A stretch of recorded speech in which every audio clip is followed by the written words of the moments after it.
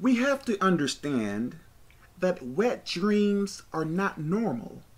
No one should be receiving wet dreams. They are demonic.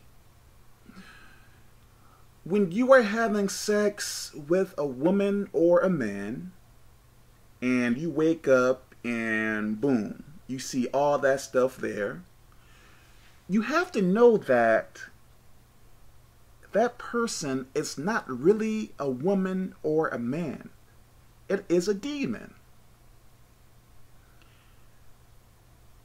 Stop getting excited for these dreams. I know for myself and other people back then, we would really get so excited to have these foolish sexual wet dreams.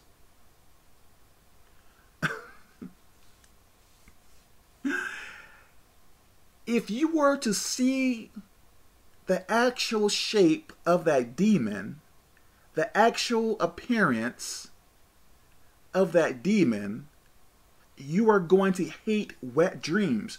Know this you are having sex with demons, not with that pretty woman or that handsome guy. No, with demons. So I pray that this makes sense. You should pray against wet dreams.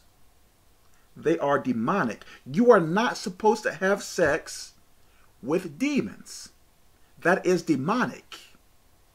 Bad things can happen from this. This is why you need to be proactive and pray against these demonic things. They are evil.